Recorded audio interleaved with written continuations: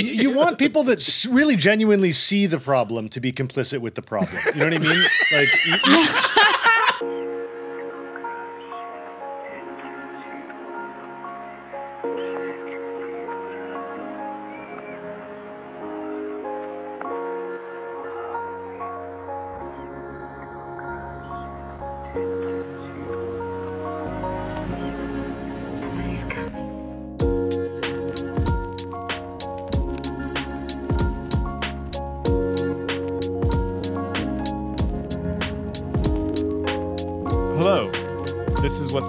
Philosophy.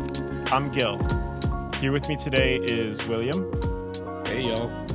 Owen, Hey, Gil. and Lillian. Hey, Gil. Uh, today's episode is the first installment in a series we are doing on the concept of utopia. We're beginning, appropriately, with the inventor of the term, Thomas More. More's utopia belongs to a tradition of social commentary that plays consciously with the boundaries of seriousness and farce. This genre of satire goes back to Lucian, whose classical Greek dialogues More translated into Latin, and which was exemplified in More's time by his close friend Erasmus's book, The Praise of Folly. There's a sharp taste for paradox here, and this tradition is sometimes aptly characterized using the Latin phrase serio ludere, to play seriously.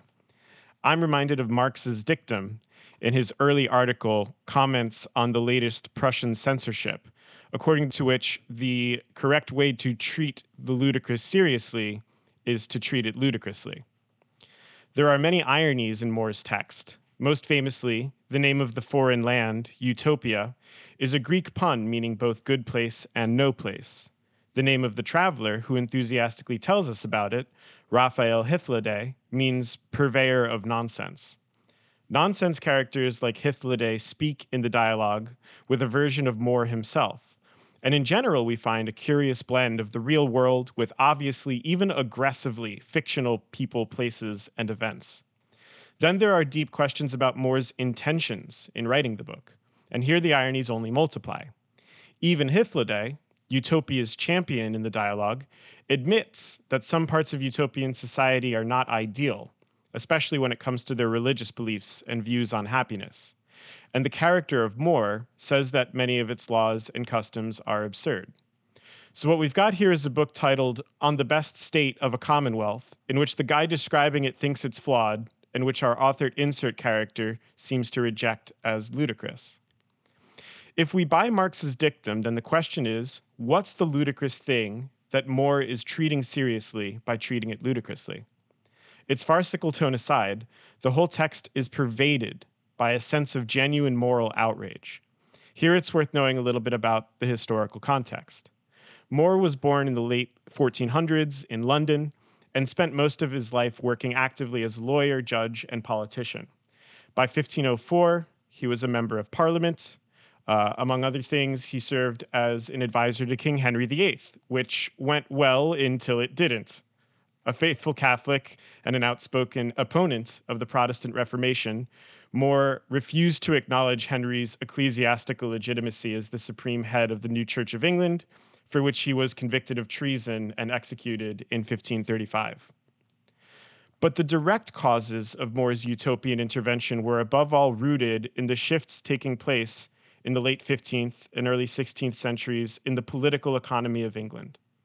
Most significantly, this period saw the rapid emergence of capitalist agriculture, whose greatest and most socially disastrous avatar was the enclosures, that is, processes by which land formerly held in common and which formed the material basis for the subsistence agriculture of the peasantry, was forcibly privatized for commodity production. In his book on Thomas More, Karl Kautsky describes some of the key features of this transformation. Quote, the landowners found that the simplest way of expanding wool production was to claim for themselves the common lands which the peasants had the right to use. Not merely individual peasants, but sometimes the inhabitants of entire villages and even small townships were expelled to make room for sheep. Capitalism in agriculture meant the direct setting free of workers. In England, this process of setting free proceeded in its severest forms, and hand in hand with the separation of the workers from the land, from their means of production, a rapid concentration of landed property was going on. Nowhere else in Europe were the unfavorable reactions of the capitalist mode of production upon the working classes so immediately obvious as in England. End quote. So, this is the social and economic background against which More writes Utopia. He's bearing witness to an aggressive form of what Marx calls primitive accumulation processes of dispossession that create the conditions for the possibility of capitalist relations of production, which he sees producing masses of impoverished, unemployed peasants and workers. This is the context in which we find, for example, his characters debating the proper way to respond to the increasingly widespread crime of theft. Even if we agree that stealing is a moral failure of some kind, shouldn't the fact that the masses are being stripped of any real alternative to provide for themselves, that is, shouldn't material conditions be the real object of critique and condemnation? And again, why make these points, which I would call straight up historical materialist and inspiration, through the medium of an irony drenched dialogue about a fictional island called Nowhere? Questions like this should hopefully let us talk a little bit about the role of imagination and fiction in critical social theory. So, one last little bit of scene setting about the structure of the text, and then I promise I'll shut up. Uh, book one offers a sharp critique of these and other features of English political economy and juridical practice in the context of a discussion about whether philosophers should even get involved in practical politics. While book two takes us to the island of Utopia, whose most striking feature is surely still today, as it must have been when the book was published in 1516, its regime of communal ownership and the total absence of private property. But we might also draw attention to the Republican structure of its political constitution, its humanistic valorization of virtuous participation in public life, as opposed to the false nobility of vainglorious European aristocrats, or even its peculiar defense of imperialist expansion. But okay, I think that's plenty out of me. Uh, sorry that went on a bit long. I'll stop here and open it up to you all. I'm really excited to hear what you all have to say about this fascinating and provocative work. Thank you for that, Gil. That was a, a, fantastic introduction. So I think you know the first thought that I had while while listening to you and reading this text is you know um, I also believe uh, historically um, book two was actually was written first, and then book one uh, was written. So why I find that interesting is you know to get us going is so you know there is in either the history of liberal thought, conservative thought, and leftist thought a notion that there's a tension between politics and utopia. And usually, when utopia is getting castigated and, and dismissed, it is this idea of blueprints of a perfect society. So I was really surprised reading this for the first time. One, when you get the book two, it's not that the people in utopia are perfect. It is not even that it's a perfect society. There's slavery in that society. There's still crime. But you know what I find is really interesting is that most of the dismissals of utopia's relationship to politics it's as if people cut utopia in half and they only responded to book two. But book one sets the stage for the question of well, what is the best form of government? And two, what is the relationship between ideals and practical politics? And so, you know, what I thought was like really incredible about this text is that, you know, More wrote the blueprint first. And then it's as if he realized actually part of the philosophical framing needs to be does utopia even have a place in politics? And it's Thomas More, the stand in, who's telling Hythloday, you need to advise a king, you need to advise a prince. And it's Hythloday who's trying to say, no, that, you know, that way lies corruption, that way lies, you know, compromises. And so you actually get a, a far more complex rendering of utopia that isn't purely about fantasy, but about actually making clear these tensions between how do you do politics that isn't simply capitulation to the status quo and politics that tries to actually endeavor towards some sort of social transformation. Yeah, one of the interesting things in this context is that like the whole first book, right, is More's character telling Hythloday like, "Wow, you know so much. You know, you're so knowledgeable. Why don't you go like be a counselor and an advisor to a king?" Uh, and actually, you know, make a difference. And Hythloday tells like basically like there's like three excurses, right? Three different versions of what that would look like in which in each of which he's like yeah it doesn't work it's a waste of time you know like you said that way lies corruption and more presents himself as a kind of much more like moderate realist. He's like, oh, there's a kind of indirect approach, you know, kind of work with where people are. Maybe you won't be able to produce the best, but you can mitigate bad effects. And Hythloday says that's a waste. Like that's that's already like a tilting at windmills. Mm-hmm. Which is just really fascinating, like the way that these characters are kind of situated in relation to each other on this question. I could, you know, you know, just to like you know, piggyback off of that, you know, I think you know, one more thing that, um, at least from my research on More, and you can get this from the, from the text. Another thing that's really important with you know, this uh, this conceptual tension, I would call it, that More struggling with between utopia and reality, if we want to put it that way, because you know, politics is usually understood as the art of the possible. That's Otto von Bismarck, I guess. Is you know, also More has you know, um, he constantly emphasizes the the importance of public opinion. And so mm-hmm. when you know the more stand-in is you know, saying you know if you you know obviously you can't just ignore the context. You need to find a way of articulating you know these ideas you know as it follows what you know people you know are thinking, how they you know conceptualize things. And so something else that probably you know More is up to is how do you communicate your ideas from within the common opinion to make them effective. And so that's why he's trying to draw Hythloday in. But Hythloday, and you know, maybe a sort of modern question of this is what is it those of us who do theory what are we trying to do? And Hythloday if you know we podcasters it's like well we don't get into the messy business of politics. We've got pristine ideals. We've read our hegel. We are good. But you know, I just think that it's fascinating that built into the whole text isn't this idea of mere pure fantasy. It is about what is, how do you interarticulate social difference while knowing that you can't completely break from the conditions in which you find yourself.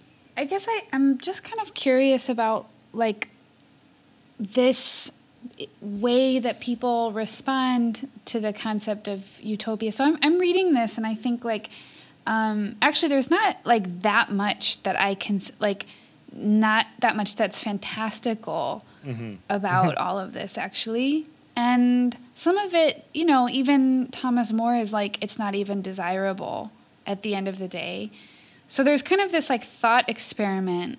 And I didn't, because, you know, this is my first time reading the text, so I just didn't quite understand some of the motivations for like the things that are in Utopia. You know, I was like, okay, neat neato you know these aren't like the desires of my age if as it were you know so like but it's not actually that fantastical it resembles more like a kind of uh, like a kind of pastoral feudalism that is not so unequal that has this like kind of relative gender egalitarianism people are, are sort of loyal and have common virtue and ethics and i mean there's just like lots of details but anyway, it's not that fantastical in a yeah. certain sense.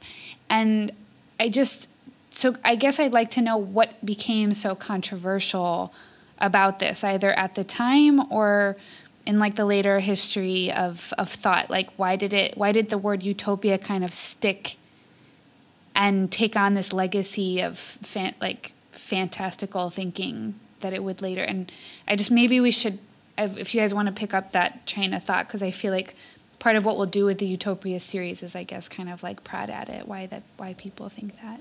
Yeah, I don't have a great answer to that, but I think something strikes me that's related, which is that because I had the same reaction that the Utopia book two, right, where the Utopia is actually elaborated and described, um, actually struck me as like incredibly and eminently reasonable. Most of the proposals are just like kind of mundane things about emphasizing use value over, you know, other stupid, senseless forms of valuation that ultimately harm both individuals and society. But I think that one of the kind of literary geniuses of it is that it ends up making maybe retrospectively, right? Book one, which is the social critique section, right? The section, to lack of a better word, the section where More takes on the insanities created by the enclosures and by the emergent agrarian capitalism, he makes those look totally absurd and crazy, right? Like, so he he's describing, you know, people that want people people that are like totally dispossessed by the process of the enclosures that then want those poor people not to beg, right? Things like that, right? The people that have absolutely outlandish, absurd, fantastical ideas about how a society should function. Like if you if you dispossess all these people, then and then you're like totally shocked when all of a sudden there are beggars, Oh, no, beggars. and they Oh, don't geez. have the ability to subsist. I mean, you are operating on a totally fantastical, almost kind of utopian view of reality, right? Yeah. Like, and so like by the time you get to utopia and it's like, yeah, we should all kind of eat in the same mess hall and like, you know, gems are probably not really that valuable in the end. It just we, we kind of attribute all these arbitrary, fantastical values to them, and like the idea that some people are more valuable because of the blood that they possess by virtue of their daddy or something. Like, you, I don't know. All of that stuff looks really absurd, and the stuff that they're proposing in Utopia, the utopian place, all sounds like you know fairly reasonable. Wow. Except for money, except for the exchange. What is Yeah. it doing without money and private? Pro- actually, at the end of it, he kind of like comes around to the idea that actually I can't imagine doing without money and private property. Like actually, I'm not even sure that's Yeah, but when they take a shot at the the the, mon- Yeah, the kind yeah. of moneyless egalitarian society, it doesn't sound like crazy. You know what I mean? It it sounds like a mm-hmm. pretty anodyne form of central planning that might have its, you know, might have its like pitfalls, but also might have its virtues, just like any mm-hmm. existing or any economic system does. You know? Yeah, I guess I, I was just interested in the move he made because I think you're right that he kind of makes the things that people are now rationalizing as like a mm-hmm. well ordered society seem really absurd. Yeah. And Yeah. that's like basically what I think capitalist transformation is like. Like the last episode we did, I think Gil was like, wow, we have so more houses than people, and they're like, and then people can't live in them. That is Seventy so percent of the food gets thrown in the garbage, and you know, like what are we doing? I mean Yeah. so there's Yeah, yeah, this um complete like yeah irrationality of the market that goes on and he's starting to see that and i think it's like rhetorically very powerful to be like to kind of have the contrast between the two books draw that out you know in a kind of literary way. But then at the end of it when he like like when his interlocutor who's what is what was his name starts with an h uh, A Hithaliday. Hythloday. Hythloday. I, I, Yeah. I don't know how to pronounce it. So, all so made like when he comes to the end of his dialogue, and Thomas More is kind of like, there is much to be commended in this place of utopia, but also like the things I kind of can't imagine doing without are exactly the things I made seem absurd Yeah, in the beginning, yeah. which is amazing. Yeah, that is brilliant. So Yeah. I want to say two things about that. One is that Skinner, Quentin Skinner's got an article that talks about like the sort of literary structure of the text and like w- some of the things that are going on here. And at the end of both book one and both and book two, we have the more character saying, as you as you point out, Lillian, like, yeah, but like communism, like absence of private property, that's bananas, right? That can't that can't work. But he points out that like the articulation of this at the end of book one is like much more confident actually in tone if you compare them side by side where like after we've been talking mm. about like he first kind of just like mm. mentions the utopians and he's like mm. i'm convinced we could never have a properly well ordered society so long as there is private property for all the all these obvious reasons. And he's like oh that can't work. And he basically reiterates like the arguments that we get against propertyless moneyless societies that uh, are first articulated by aristotle actually That is amazing. Yeah. um, and this like aristotelian claim is twofold right like on the one hand like without the promise of gain right people wouldn't work and they'd fall to like idle sloth and then second we'd have like this sort of fall into social disorder and then the two the structure of the two books right is first to be like hey uh you know how you said that if we didn't have private property that like we'd fall into disorder? Look at the disorder right now. We've got your private property so how's that supposed to work right? And then second now that we've talked about utopia like seems like they're doing okay. They don't have these things so this two-pronged argument doesn't quite line up. At the end of which he still wants to repeat the argument be like surely we still need private property but he's also like couching it now a little bit right? If you look at the end of book two he's like well, we wouldn't be able to have all those things that, according to common opinion, are really important. And it's like, oh, mm-hmm. according to common opinion. Mm-hmm. Okay, well, Yeah, wait, I thought I thought you believed it. Like, wait, Yeah, where yeah, did this yeah. come from? Like, he's, he's he's he's shaking a little. I think he's shake he's shook by the end. he shook. He shook. Yeah. Yeah, I, I mean, honestly, he he should have been. should be Henry, shook, yeah. Henry VIII and him did not did not get on. So you know. Yeah, I mean, oh my. So okay. Also, like, I, Oh, Owen, I loved what you said because you know, it just like you know, really crystallized for me that you know part of the structure of what Utopia is doing here is actually showing, and I think this is kind of the language you're using that actually the present society is underwritten by utopian thinking. Mm-hmm. The idea mm-hmm. that you can have an increasing dissolution of the commons, and from what I've read, you know, it seems like actually the consistent thing that More thinks is that the commons is necessary if you are going to have a healthy society, and a that you know all this folk a commonwealth, a commonwealth, and and you know increasing what we share in common, and that you know what part of the critique of Utopia Book Two, we, the reason why he constantly talks about virtues and vices is More thinks that there are particular types of vices, especially private vices, mm. that tend to dissolve the commons. That's why mm. look, let's just talk about some of the weird shit. Like yeah. before a man and a woman get married, they have to be able to see each other naked, and you know, and, I mean that's key. Utopia the like, problem is, Will, is that what you hiding? What the problem is is that you totally believe that. That's totally consistent with like modern sexual ethics. We don't think you should get married without seeing each other naked. Yeah. Facts. Yeah, but I think it, it's a little it's a little bit weirder insofar as it seems like it's not like, hey, I'm attracted. It's just like we are about to enter into this contractual agreement. Let me look over the wares. And so Well, there's nothing erotic about it, right? It's yeah. just like bare observation of each other's bodies before you before you assent to marriage, you know. yeah. the way that, the way the example he I'm gives just saying is the way you look for 15 16 it's kind of a kind of progressive, progressive move. Oh, yeah. pretty risque, yeah. Yeah. He says like, you know, you don't buy a horse without looking it over. So. exactly. He's just like you wouldn't do that. So like why would this be different? What what are you doing? and so it's just like it's fascinating to me that the the move of utopia here is actually it's not just about denaturalizing the present, it's showing that the expectations we have of the present given how we order our common life mm-hmm. are completely fantastical. Yeah. And yeah. so and the problem nice. is common opinion is trapped in that deadlock of renaturalizing what actually is impossible. And so sometimes mm-hmm. I don't get like the the knee jerk, you know, and, and I guess as we go on with the series, we'll see maybe how Utopia's changed and critiques of it. I don't get the critique of Utopia as simply about impossibility, when what More mm-hmm. rather cannily does is he says the present is impossible.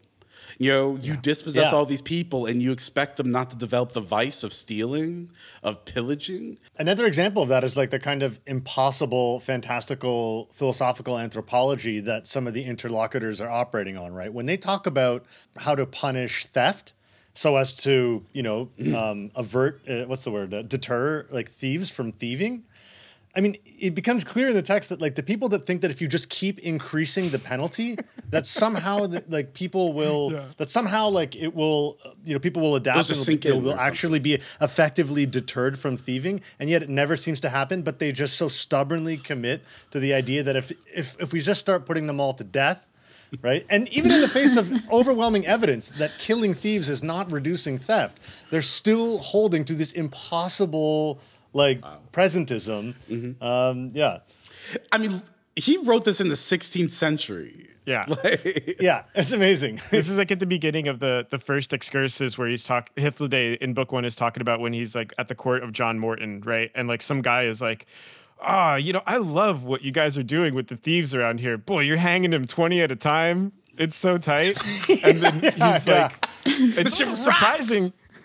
God, it's so surprising though that there's still all these thieves. And Hythloday's like, you moron. Of course there. What are you talking about? Like, you've addressed none of the underlying causes of the conditions. The, the yeah. conditions that create theft necessary still exist. Still so there. you are a fantastical utopian. You know what I mean? And like just that, to spell yeah. it out, because it's obvious. If you know, you say the penalty for thieving is death Yet if I don't thieve, I will starve to death. It is yeah. really unclear yeah. why that punishment would be a deterrent yeah. For theft. Nice. And so I, I, wonder if there's another thing going on here.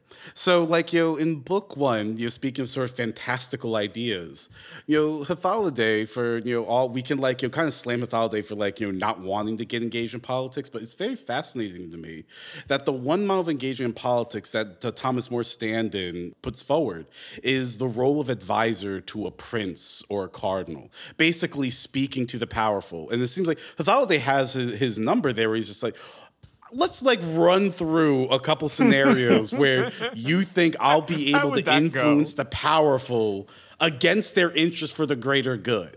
And so there also seems to be, and I, you know, it's really weird. Thomas More making this critique, I think, because I think you said about- about this in the introductions.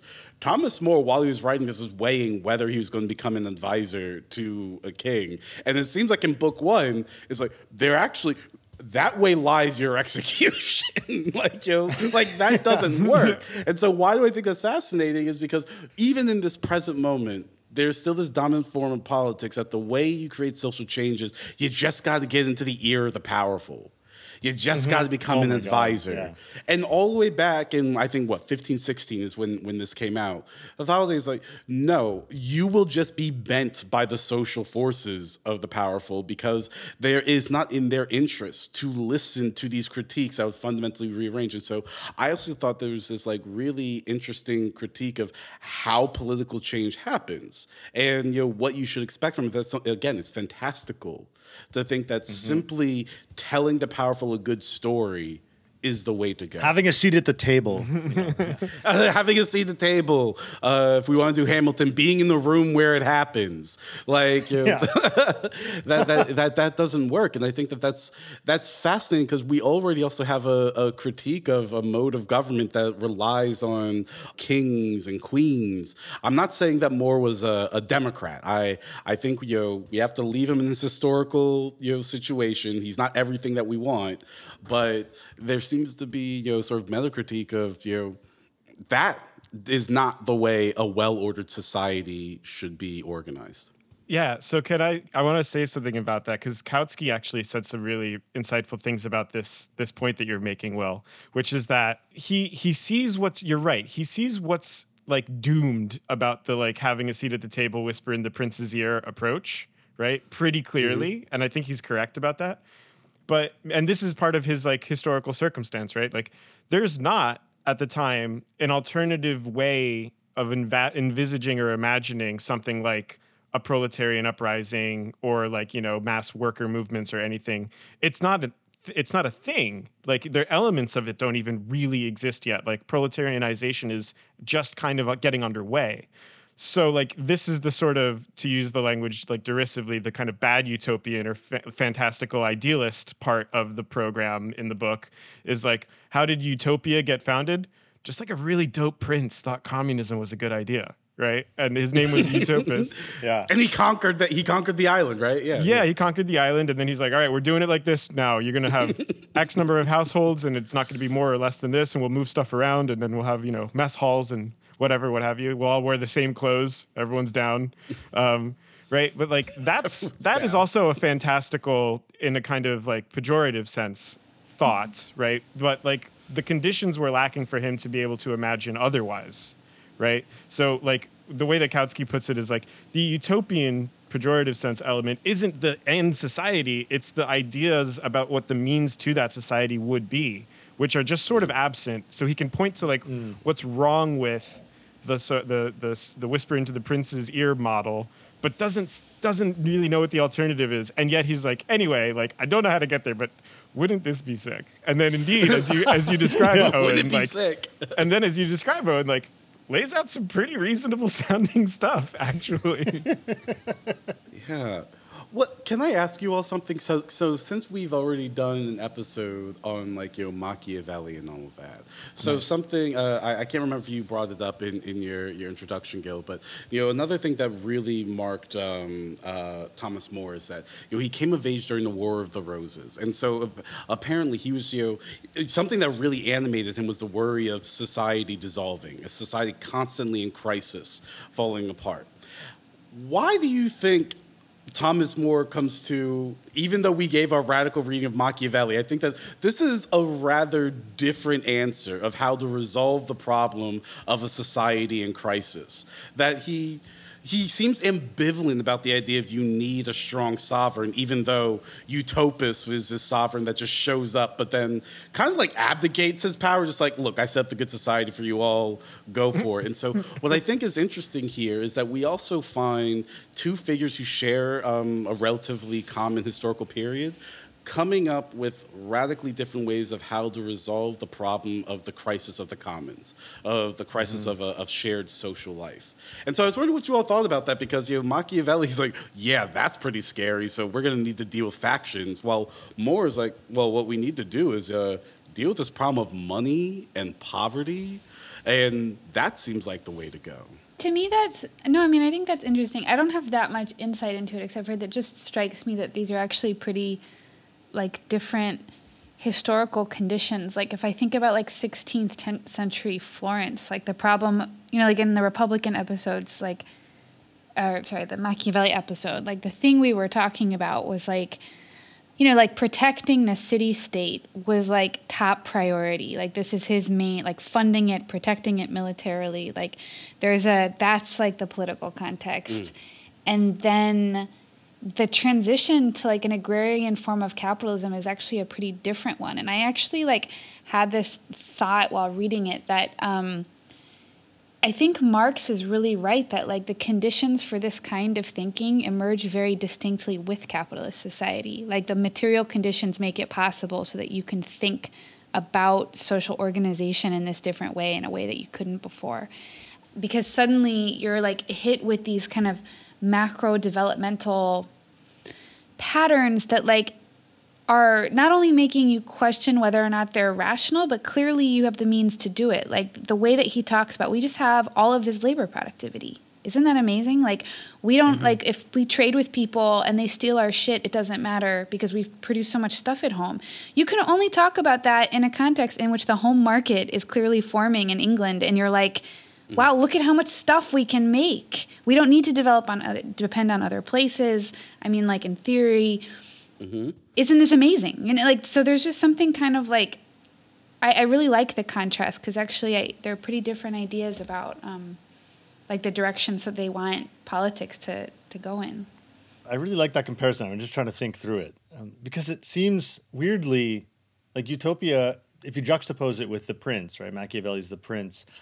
It seems like more of like a critical text, even though it appears to elaborate with like a great mm. specificity a whole social arrangement that you know an ideal social arrangement. I think like based on some of what we've said already, it makes sense to think of the text as and even the utopia that's created as as critical reflexivity on the present. Mm. Whereas the prince is, even though it doesn't lay out an a- ideal set of social conditions, actually has a much more programmatic, like you know Althusser describes it as a manifesto. Mm-hmm. And I don't know if that distinction is is helpful or not, but that, I think that that it is. I don't know. It just strikes me that the supposedly fantastical one, you know, is is meant to have a, a critical reflexivity in relation to the present, and the prince mm-hmm. is the. Yeah, I don't know. It's the, Yeah, the no, no. text. Oh, and I love that. Um, let me just say this real quick Yeah, because yeah. you know I'm I'm I'm writing a public facing piece about this because you know what you find is that the the way to cascade utopia is to say that it actually doesn't tell us anything about empirical reality. You know, the idea that it's an, it's a flight from reality. But what's Yeah. interesting, and not to say Machiavelli falls into this, but it turns out perhaps a brute realpolitik, a brute idea of you a, a pure science of politics, might actually be more utopian in the bad way than u- utopia mm-hmm. as a critical reflexivity on one's historical moment, which mm-hmm. you know like mm-hmm. builds off what Lillian was saying was like what's fascinating with your utopia here is that it is historically emergent it come it emerges in history rather than it being abstractly posited outside history, which is you know the way you could critique like Plato's um, uh, Republic. Um, so you know More is obviously aware of Plato's Republic, and so what he tries to do to show that what he's up to is different than Plato's Republic is part of the reason why there's the the I believe in the, the text you have there are the maps and there's all this granular detail is we know it's a literary text, but More is saying no. This is a real historical place. Mm-hmm. While Plato's just like, let's just imagine a city, okay? you know, yeah, let's yeah. just like, you know, let's just work out the arguments. And so the difference is for for More, utopia is you know, something with a historical genesis. It mm-hmm. emerges from mm. real oh, contradictions nice. that need Interesting. Oh, resolving. Oh, interesting. And I worry that this idea of you know utopia or realism, one you cannot make the argument that you know simply being realistic isn't a way of simply bowing before present circumstances rather than understanding and hypostatizing them, freezing them. Yeah. exactly. Yeah, I mean that's you know, I come to think of it, I think that they're both I think they're both attacks on the fantastical, weirdly. Mm. Like Utopia and the Prince are like both attacks on the fantastical way of understanding the present. I don't know. Mm-hmm. I'm gonna sit with that for a minute, but yeah. Well, like when like at the end of these examples that Hythloday gives about how trying to get involved in politics and trying to influence the discussion would inevitably fail, which might be, by the way, like there's something to be said for like reading kind of paradoxically there then like that's More and Machiavelli the fictional character More and Machiavelli on the same team right? Being like get in there mm-hmm, you know do mm-hmm. your do your sort of influencing work try to like shape the direction of things. It's Hythloday who says like the line is really good. He says the only result of this is that while I try to cure the madness of others I'll just end up raving along with them myself right? Like and like that's what happens when you that's what happens when you play the realpolitik game here without utopian critical sensibility i think is the suggestion right? You're like. Uh, that there's like something crucially missing um and and you know maybe corrupting. It's it, the whole like the whole like Well, the risk is you end up simping for the Medicis. you end up simping for the medicis and they're not they're not great we can admit right medicis It's okay to say that. It's okay. but it, it's so it's so like ambivalent in the text for me like i'm still not exactly sure like where more the the writer i guess not the character perhaps uh sits on this question of like what is to be done in terms of like you know trying to influence the direction of public affairs like the critiques he gives of what it's like to try to influence power are so good and by the way so fucking funny just so funny like yeah. Yeah. like at the end of the whole thing about like uh, punishing thieves right uh, Hythloday is like hey what if instead we did this other thing which it's like by the way like penal labor like forced labor for the for the convicts right it's like a convict leasing system which again Sweet. I don't know. I don't know.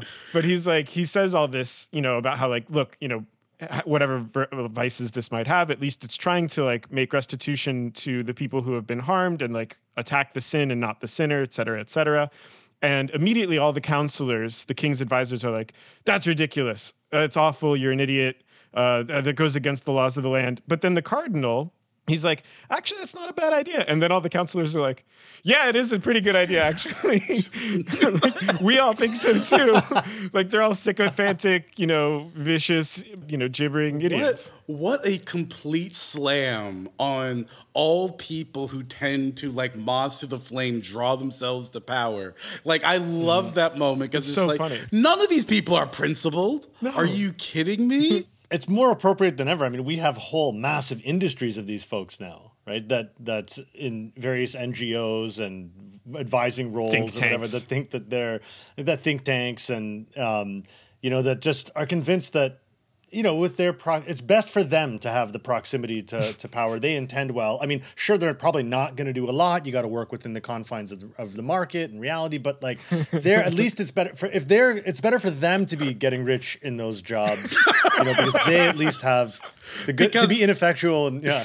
No, I'm because just at least they have it's their proper better, it's better for, for us to be getting rich at these jobs because why the fuck would I care if someone else is getting rich at it? Yeah. It's better Yeah, yeah. if it's me. Like- you want people that really genuinely see the problem to be complicit with the problem. You know what I mean? Like, you, you- like, you don't want people being complicit with the problem that are just like fucking totally ignorant, have no idea what's going on, bumbling around, and having a good oh time. Oh my God. You want you need guilt and you need some sense of Owen clarity fucking about the- killed me with that. Oh boy. You really want people who really see the problem to be complicit, not someone who's ignorant. What?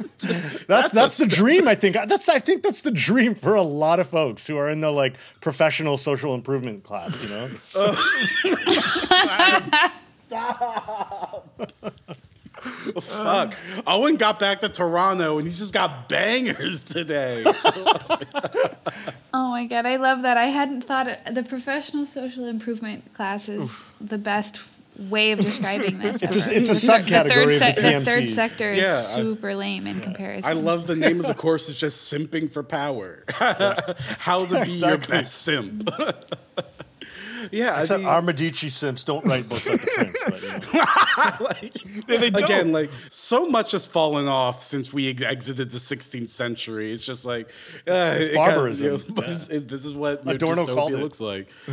But Yeah, exactly. You know, the other, you know, what else is really rich about you know more we can call it maybe more sort of social ontology, is that you know he also wants to show that a disordered commonwealth, and maybe you could say that there are reflections of this in, in Plato, really produce disordered, vicious individuals. And so like you know there's also the scaling where even you know if you want to make the claim like you know the the the ideal or the value of the individual isn't really historically existent at this point it is quite clear that More is very interested in what happens to the individual's character.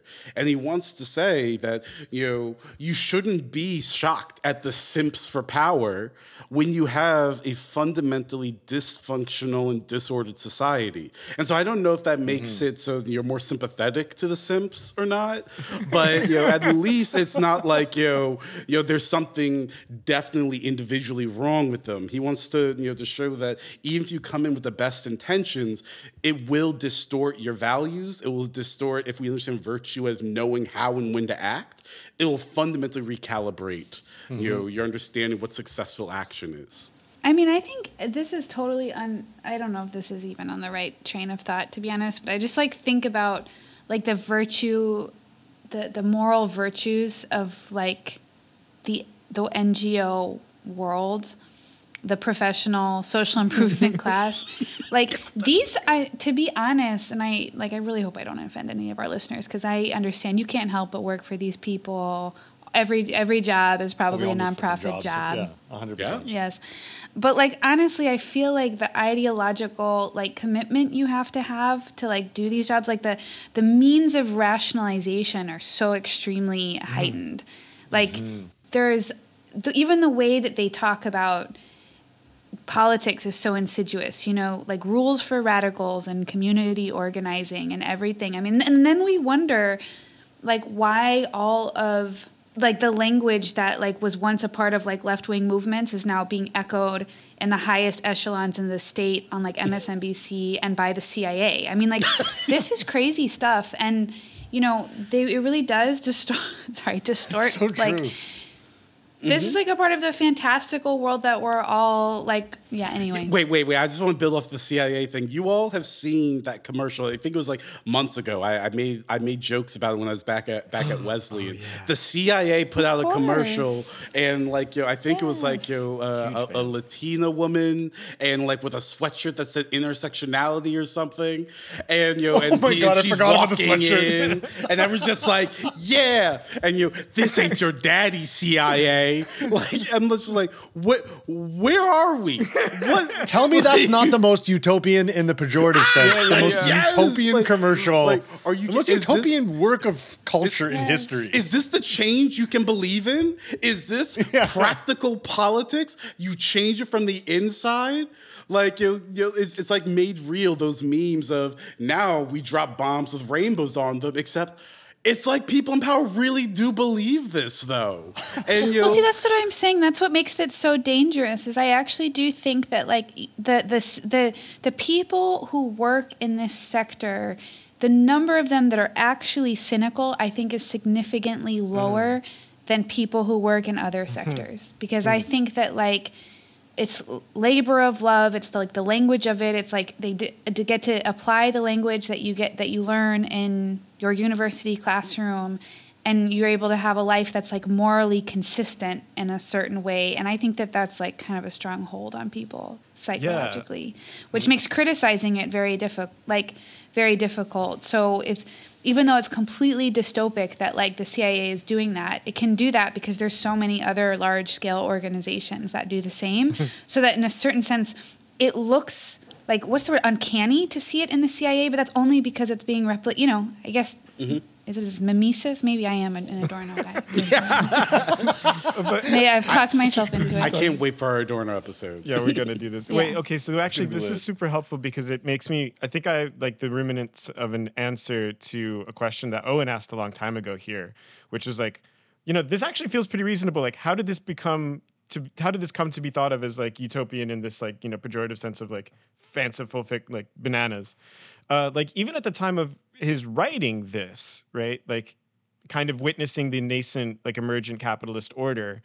Communism was you know in in you know pr- pre-modern forms a respectable relatively respectable theoretical position in lots of humanistic discourse uh, which was you know championed mm-hmm. it, you trace its roots back to the republic where sure goods are held in common only by the guardian class but then in the laws where it's pretty generalized across society and then in plutarch who also advocates for a sort of communal ownership and the abolition of private property so like even at the time he's writing this like it doesn't sound that Im, like that ridiculous. But then, like over you know what's it been four or five hundred years since then, the the depth with which like capitalism gets its claws both into the social order and then also like our imaginative space right? it becomes retrospectively fantastical it becomes retrospectively mm. fantastical right? It looks it yeah. looks more unreasonable to us now than maybe it did when he wrote it even because of the way in which like our sort of imaginative our imaginative horizons are so circumscribed by like obviously it's necessary that we have to have private property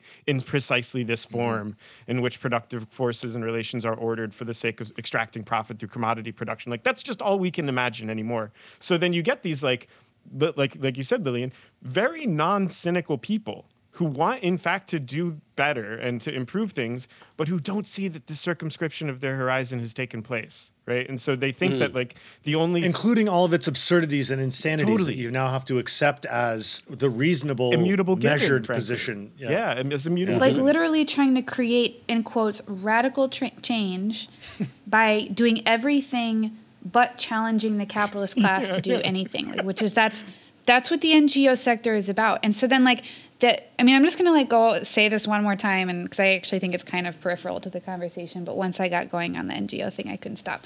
So it's like there is this whole conversation like in academia and in like left-wing circles about, you know, the margins, yeah? Mm-hmm.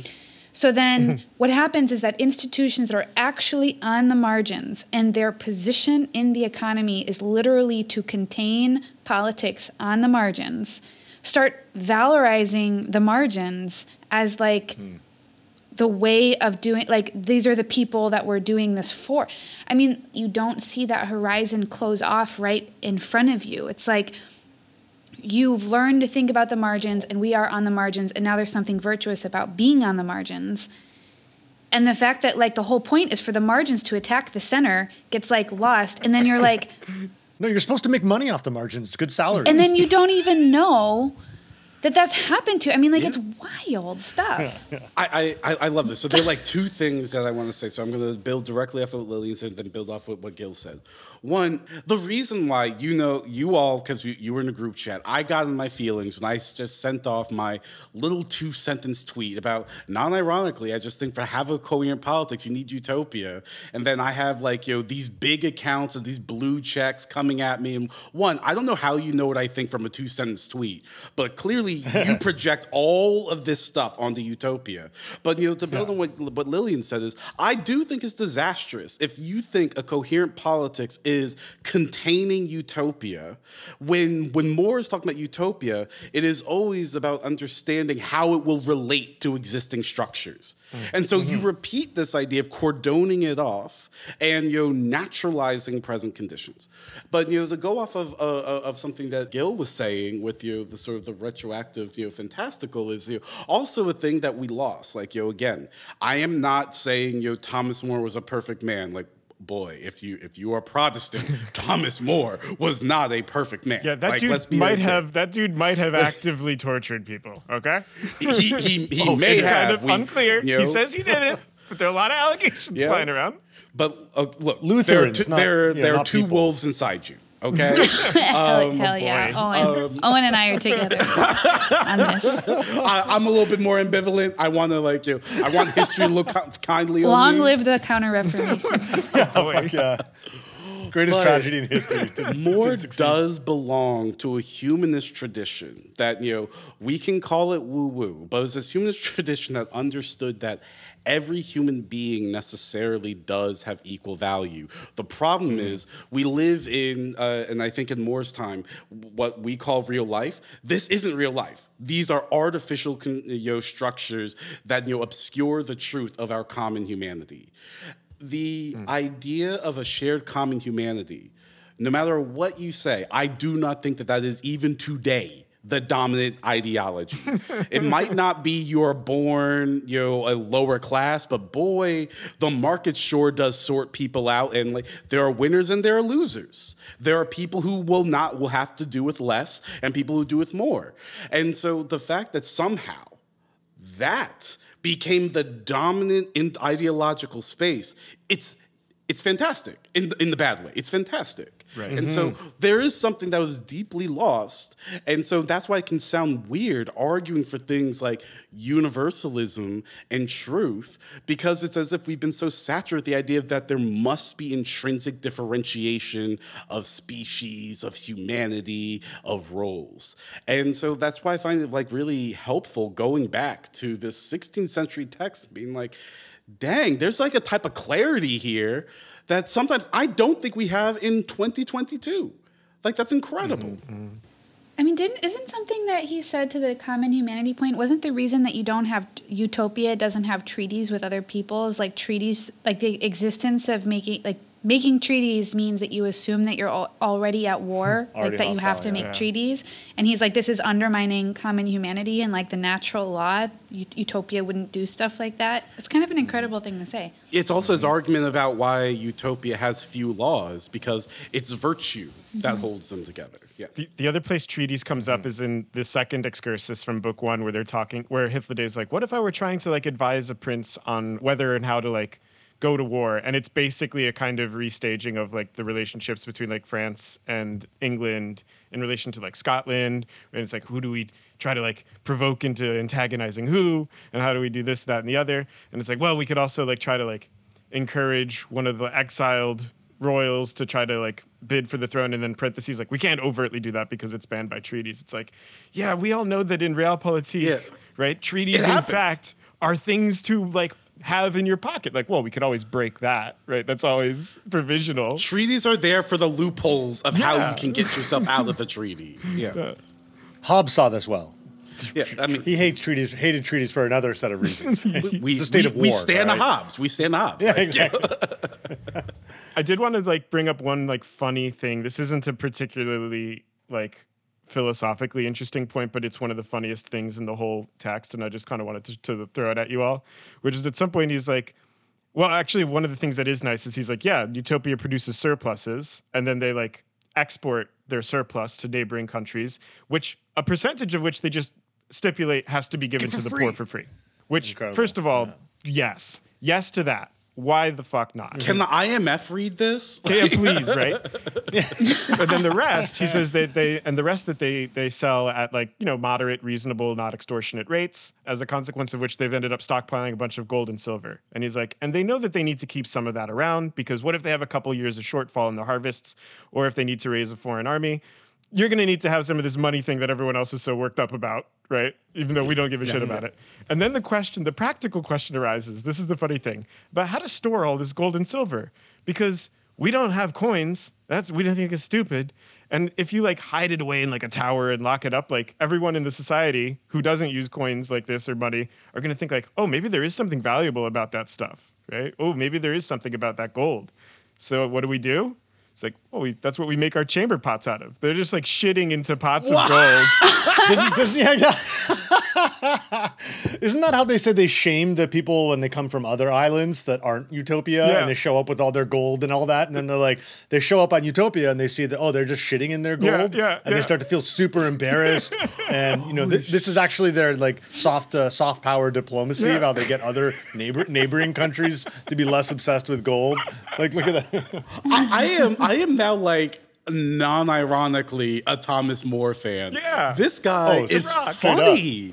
like I, you could, like, I'm gonna be honest. I didn't realize people were funny back in the 1500s. I thought you know things are pretty dire. Humor had to wait until like the 18th century, but that's really funny. I mean, I think there's like there's there, another thing that struck me about the contemporaneity of the text is like a lot of people have talked about um, the new enclosures as being like intellectual property, right? Taking this the birth of this like digital commons, which exploded with the internet when the internet was cool for a few years, right? And then the progressive, and it's not just the internet, right? But all manner of intellectual property. Think about the the absurdity and the fantastical nature of what's happening with vaccine Yeah. IP right now, right? That like people are convinced that if like oh yeah like it we can somehow deny access to these vaccines without having new variants emerge all over the world and then like you know come back to bite us in the ass. And I, I don't know i see a really similar like i see a really similar opening for the critical gesture he makes about what the enclosures are doing the land enclosures are doing with private property in seven in 16th century britain to you know IP, the ip enclosures that um, you know we've been existing under if there's a central message of, of the text, and you know, and I, I really appreciate Gil saying like, you know, the text is layered with ironies and jokes, and it's hard to know what more the writer thinks, what more the fictional character mm-hmm. thinks. But I have a hard time reading this text and thinking the unifying theme, if there is any, is the necessity of the common good. Yeah. And Yes. that, you know, mm-hmm. Yes. the destruction of the common good, you should not be surprised. You might think it will only affect those who are lesser than or less fortunate. Eventually, we all pay for it. And so that's just what that's came like, to and my that's a mind. realist that's a realist observation Yeah. right that like I the think so, commons yeah. is a necessary feature of like human existence and that's not that's not the the utopian thing is not to valorize the commons the utopian thing is to think that you can denigrate and destroy and carve up and privatize the commons and that's not going to produce gigantic social disaster ultimately Well, yeah, yeah. I said like before, like you know, it's not a, just a joke, right? Like his his his his like I thought this was about a quote commonwealth. And then you want to you want to break it up and have private wealths, and then you're like, oh no, oh, what happened? so what happened to the Commonwealth? This is like not a particularly deep insight at this level. You know, it's like yeah, obviously, 100% So, yeah uh, can I just like make a quick comment Yeah. on the on the intellectual property thing? Like one of the like contradictions about our current regime of property laws and like juridical practices that I've been thinking about recently is the way in which the theoretical foundations and justifications of antitrust law and intellectual property law are fundamentally at odds with one another. They're like literally incompatible or contradictory. Where on the one hand, like antitrust law is meant to prevent the formation of monopolies, right? Because, and it's usually a utilitarian sort of defense that is, monopoly formation ends up being bad for the social good because lack of competition allows firms to extortionately set prices, et cetera, et cetera. And then on the other hand, we're like, oh, but then we also need to allow patents and intellectual property, which is a de facto monopoly, right? We're creating conditions of non-competition. This is exactly why like medicine is as expensive as it is in the US, where like for 15 years at least, and then there's loopholes that allow pharmaceutical companies to extend these things artificially.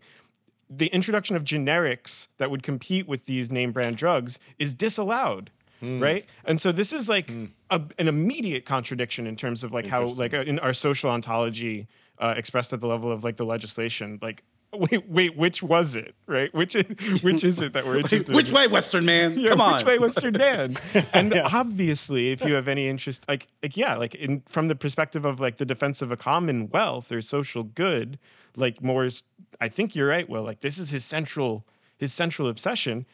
Yeah, yeah, like the IP thing is is ridiculous, and especially insofar as we like, you know, uh, I saw someone on Twitter, and I forget who. I'm not going to get the name right now. Say the other day, like humanity shares a common epidemiological fate was the formulation, which I really like. You know, like Yeah. you can't vaccinate some people and not others, and be like, job done. It's like no, this is, that's not Did how it. this works. Ha! Yeah, common good or not at all. Now let's do global travel. yeah, you can't dispossess and not expect thieves yeah, no, it's exactly. I'm just like really glad we started with this text. I think uh, this What is Utopia series is going to be a lot of fun. I, I think that maybe we kind of got to a preliminary answer of what is Utopia for more, but you know we're going to read a lot of different people with a lot of different answers, and so definitely, yeah, I, I can't wait to around. go on this. Should we have started with the Republic? Maybe. I feel like we. I, I know it's starting to feel should- like maybe. I feel like we haven't on the podcast. Maybe this is something for listener feedback. Do you want to talk about? Do you want us to go back to the old the old boy? We haven't done. We haven't done any of the ancients actually. So. It's true. Yeah. We so could give it a go. so tweet us, tweet us, tag us if you want us to Tweet do us. Play-Doh If, listen, if you want the Republic, let we'll do us it. know. Let We'll, us I- know. we'll do it. If mm-hmm. this is a threat, we will do it. This is a threat. we will do it.